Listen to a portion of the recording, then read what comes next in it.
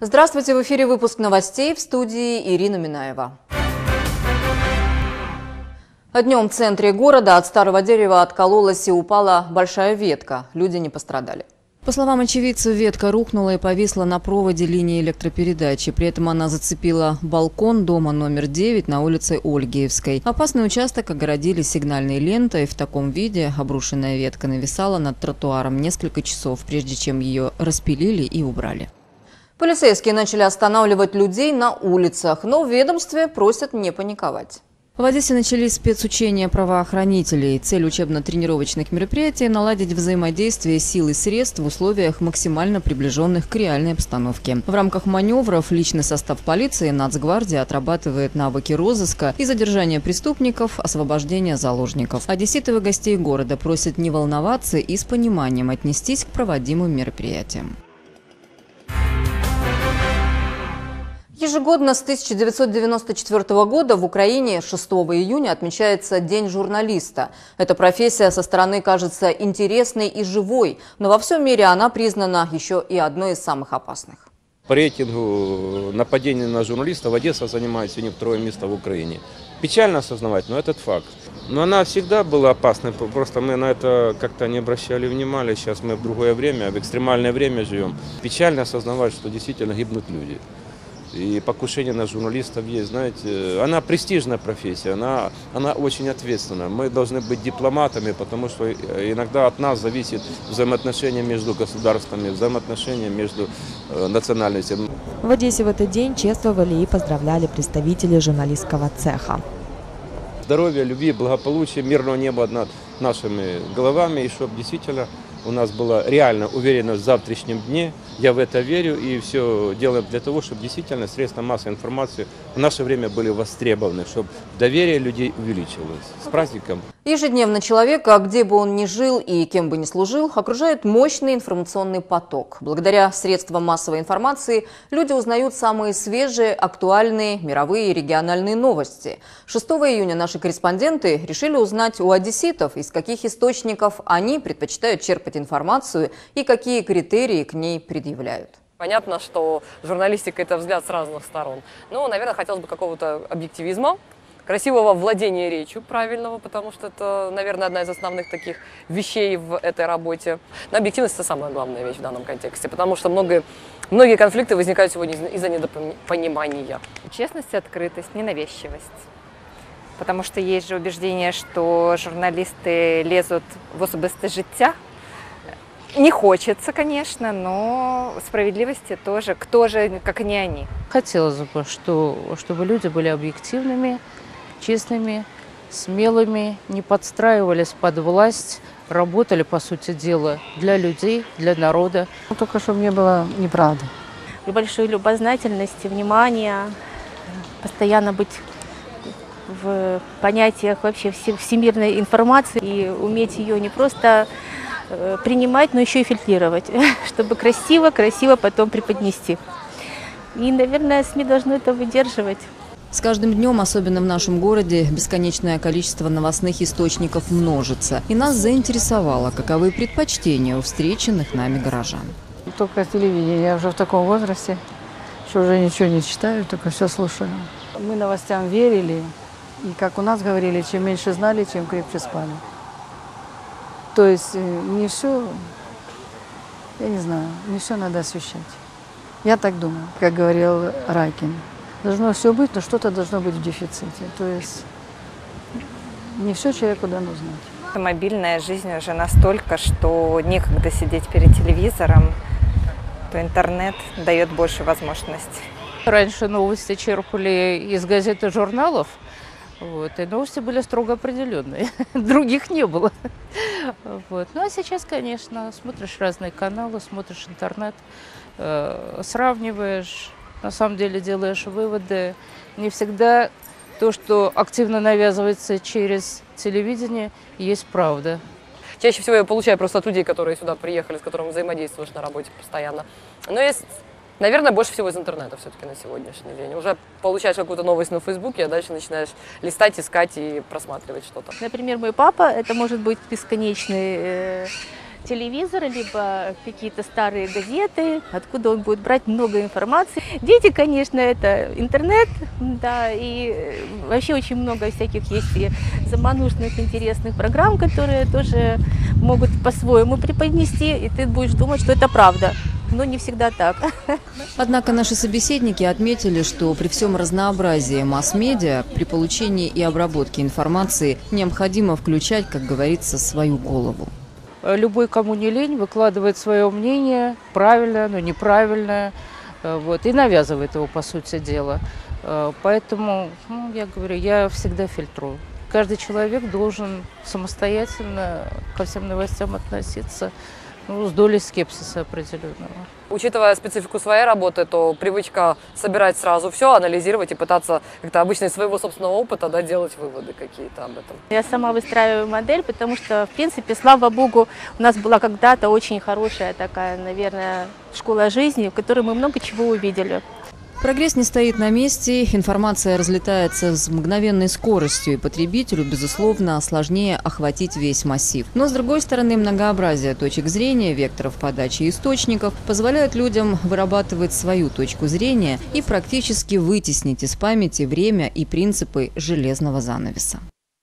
Критично мыслить, отстаивать свои интересы и верить в себя призывает украинцев и Анатолий Гриценко. О необходимости контролировать власть, ставить перед ней задачи и требовать их выполнения лидер партии «Гражданская оппозиция» расскажет сразу после новостей в программе «Тема дня». Є частина людей, які відкидають слово проблема. От я не люблю слово проблема.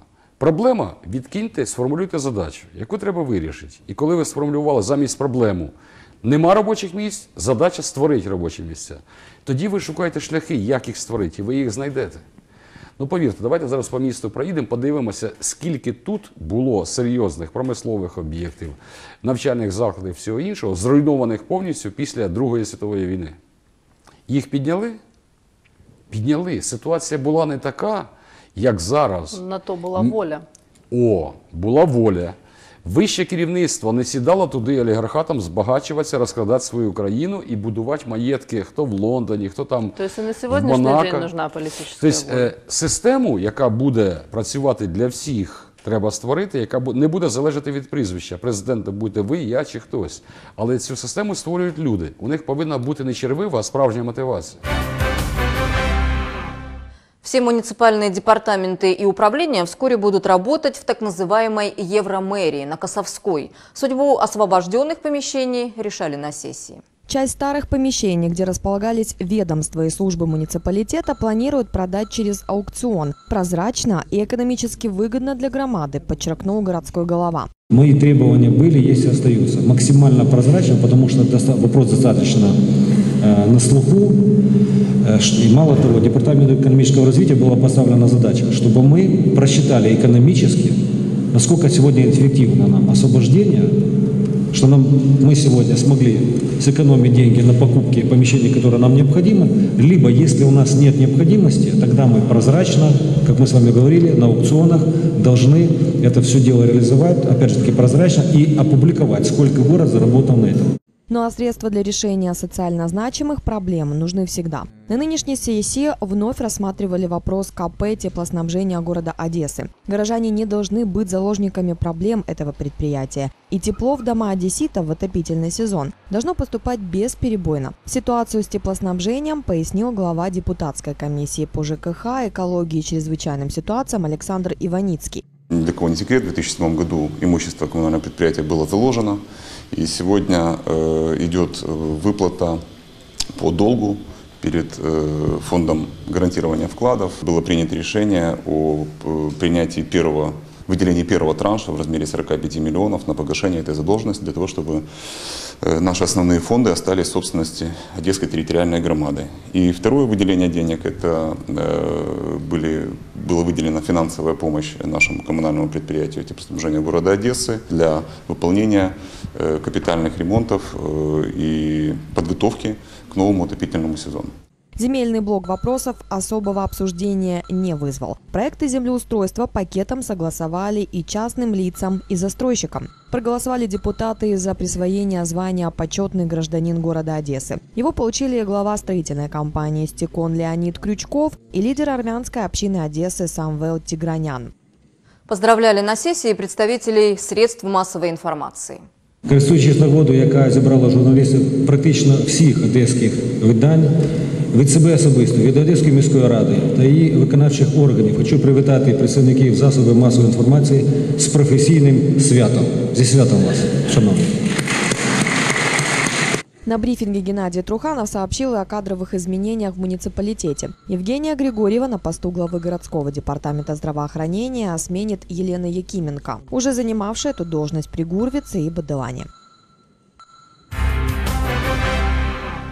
Активность одесситов Киевского района и взаимодействие с властью дают свои результаты. Дома и дворы постепенно преображаются. Очередной капитальный ремонт кровли завершен в доме по улице Академика Филатова, 9. Это итог предыдущих встреч во время выездных приемов депутата от Киевского района Дмитрия Тансюры и горожан. На очередном выездном приеме депутаты и жители принимали сделанную работу. Люди вместе с депутатом от Киевского района Дмитрием Тансюрой оценивают результат ремонта протекающей крыши и постоянно серых стен в квартирах. Дому 50 лет, и за это время кровля здания ни разу не подвергалась капитальному ремонту, рассказывают жители. У нас э, была очень большая с крышей э, проблема, потому что э, текло, затекало. На пятых этажах у людей потолки падали прямо. Приглашены на встречу по результатам ремонта также представители коммунальных служб и райадминистрации. Как и обещали, пришли уже с контролем выполненных работ. Хотели бы от вас услышать, проверяли ли вы качество работ, видели ли вы, как это все делали? Сделали. И деревья поубирали, крышу сделали. Надеемся на лучшее. И в этот же день в доме был произведен ремонт электрощитовой. Сегодня сделают электрощитовую, просто уже физически не успели. Вам сейчас через полчаса отключат свет, и вам придется сегодня посидеть целый день без света, потому что под напряжением невозможно отремонтировать. Кто, как не сами жители, досконально знают о проблемах в своем доме. Встречи на выездных приемах позволяют максимально открыто поговорить о домовых недочетах, найти пути выхода из проблем и затем оценить качество выполняемых работ. Благодарим депутата нашего, что он нас не оставил в этой беде, что он нам помогает. Вот прямой контакт – это самое-самое важное и самое главное. Потому что, когда звонишь по телефону, тебе ответили «да, будет сделано», пообещали, и все, и на этом все кончилось. Он нам пообещал, что сделает вот после 9 числа. Вот начал, началась работа сразу же, как он сказал, те же дни. Еще один завершенный ремонт, но уже не кровли, а холодного водоснабжения, принимали жители вместе с Дмитрием Тансюрой в доме по улице Маршала Жукова, 87Б. Были заменены подвальные трубы, износившиеся, но новые трубы. И нашим жителям очень приятно, что это все-таки было выполнено, обещание было выполнено. Мы довольны, мы рады этому, что все-таки внимание уделяется дому. На днях, буквально за три часа, были поставлены трубы холодной воды.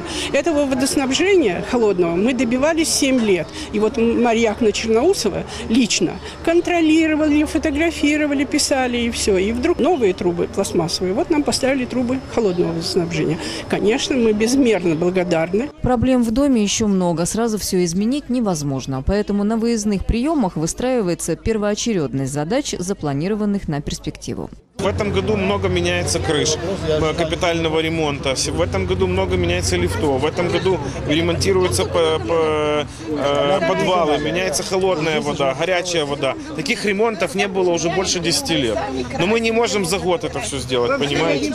Выездные приемы – это не только контроль и прием сделанного. Практика общения на местах и определения необходимых действий во дворах одесситов продолжается. Один из таких адресов – улица Шишкина, 48. Двор на Шишкина 48 состоит из трех корпусов. Перечень проблем здесь тоже возник не сегодня. Но сегодня этот пласт с мертвой точки сдвинулся. Мы сейчас увидели и здание, Да. увидели забитые ливневки Да. и увидели крышу. Ага. Начинаем с крыши. Да. В ближайшее время с Скажите, крыши сколько? на всех трех парадных. Мы делаем крышу. А как будем делать? Капитально. Только капитальный, а не точечный ремонт позволит избавиться от постоянно мокрых стен и плесени в квартирах, соглашаются жители. Она течет, по стенам видно, по коридорам видно, в квартире у всех видно, девятых этажей. Там у нас коридоры, и в коридорах такие уже трещины, прямо хорошие трещины на девятом этаже, потому что все время стены мокрые. Это у нас давно длится. Вода течет уже по стенам, даже не вниз. Восьмой этаж, по, по лестничной площадке. Иногда вот такая ситуация бывает, когда сильный дождь. Поэтому я рада, что мы собрались, и что пришли депутаты, и мы все, им все свои проблемы рассказали, и крыши, и ливневки, и все-все, что у нас здесь делается. И они нам обещают сделать, мы будем рады. Но чтобы результат устроил всех, жители должны проявлять свою активность и заинтересованность не только на этапе обращения к депутату, но и в течение всего времени проведения ремонтных работ. Мы же пришли к вам с вопросом, с просьбой. Есть выделенные бюджетные средства. И мы хотим, чтобы вы контролировали ход э, этих строительных работ капитальных, потому что нас на всего не, на все не хватает. Понятно. А подрядчики, которые приходят, могут хитрить. Поэтому вы, как активные жильцы ваших домов, пожалуйста, следите за этим. Вот мы довольны, что он приехал. Мы ждали этого, что уже готовились, думаем, что он нам поможет, потому что верим, мы видели его работу в других районах. И э, отзывы очень хорошие. Надеемся, что и нам поможет.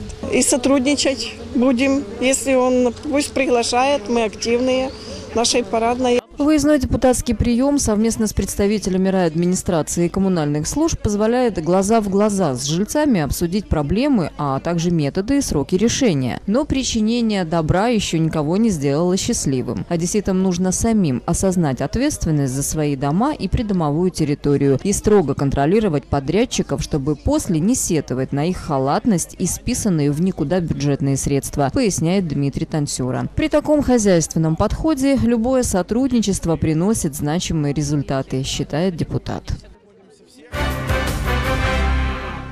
Три весенних месяца прошли без особых потрясений для гривны. Не ожидают финансисты сильных валютных колебаний и летом. Хотя за последние дни доллар робко, но целеустремленно снова пополз вверх. При этом многие сходятся во мнении, что даже это затишье временное. Осенью курс увеличится, как и цены на все товары и услуги. Гривна, как правило, всегда укрепляется по отношению к доллару летом. Нет необходимости тратить валюту на импорт газа и других энергоносителей, поясняют эксперты. Однако аналитики все-таки прогнозируют рост цен. По финансовому состоянию, ну, нам следует, в общем-то, ожидать дальнейшего поднятия цены, определенной инфляции. Почему? Потому что все сейчас в ожидании поднятия цены на нефть, в ожидании поднятия цены на электроэнергию, в ожидании поднятия цены на газ. Это естественно, естественно, повлечет за собой поднятие цен на все товары, услуги и все прочее. В какой мере это произойдет? Ну, сейчас сказать сложно. Ужесточение правил получения субсидий еще больше снизит покупательную способность населения, продолжает наш собеседник. Изменение политики государства в отношении субсидий – и переход на монетарную политику, она тоже в определенной мере снижает э, субсидии для малоимущих слоев населения. Почему? Потому что получается более сложно обосновать объем этих субсидий.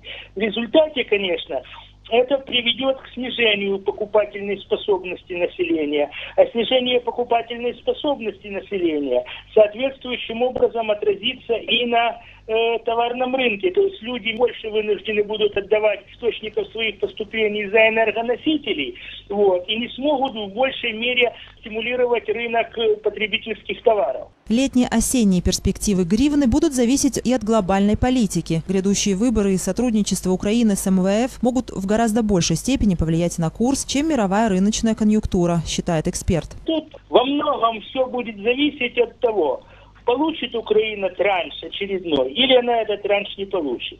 Потому что те долговые обязательства, которые в настоящее время в Украине существуют, они, в общем-то, без транша не позволяют на нормальных э, экономических условиях развивать свою деятельность государству в ближайшем будущем, в ближайшей перспективе. Долги нужно отдавать, а для того, чтобы их отдавать, нужно иметь определенные средства. Снижение курса гривны – явление временное и связано с сезонным фактором, подытожил эксперт. Мы ожидаем наплыв туристов из Белоруссии, мы ожидаем наплыв туристов из Молдавии, которые приедут, скорее всего, с иностранной валютой. И вот эта вот политика, она соответствующим образом и связана с ожиданием приема этих туристов и возможностью что-то заработать вот на курсе доллара. Летом резких колебаний курса не будет, однако осенняя девальвация гривны неизбежна, считают финансисты. И к концу года прогнозируют подорожание доллара до 28-29,5 гривен. Еще одна новость финансового рынка касается валюты. При ее покупке в объеме меньшем 150 тысяч гривен банки отныне не обязаны передавать данные покупателя в налоговые органы. В завершении выпуска напомним, что показалось важным в этот день нашим корреспондентам. С 1994 года в Украине 6 июня отмечается День журналиста. Мы выясняли, из каких источников люди предпочитают черпать информацию и какие критерии к ней предъявляют. Раньше новости черпали из газет и журналов, вот, и новости были строго определенные. Других не было. Вот. Ну а сейчас, конечно, смотришь разные каналы, смотришь интернет, э, сравниваешь, на самом деле делаешь выводы. Не всегда то, что активно навязывается через телевидение, есть правда. Помещения, что раньше занимали городские ведомства, могут быть выставлены на аукцион. Мои требования были, есть и остаются. Максимально прозрачно, потому что вопрос достаточно на слуху. Э, и мало того, Департаменту экономического развития была поставлена задача, чтобы мы просчитали экономически, насколько сегодня эффективно нам освобождение, что нам, мы сегодня смогли сэкономить деньги на покупке помещений, которые нам необходимы, либо, если у нас нет необходимости, тогда мы прозрачно, как мы с вами говорили, на аукционах должны это все дело реализовать, опять же таки прозрачно, и опубликовать, сколько город заработал на этом. Активность одесситов Киевского района и взаимодействие с властью дают свои результаты. На днях буквально за три часа были поставлены трубы холодной воды. Этого водоснабжения холодного мы добивались 7 лет. И вот Марьяк на Черноусова лично контролировали, фотографировали, писали и все. И вдруг новые трубы пластмассовые. Вот нам поставили трубы холодного водоснабжения. Конечно, мы безмерно благодарны. Обо всех этих и других важных событиях дня мы расскажем в наших следующих выпусках.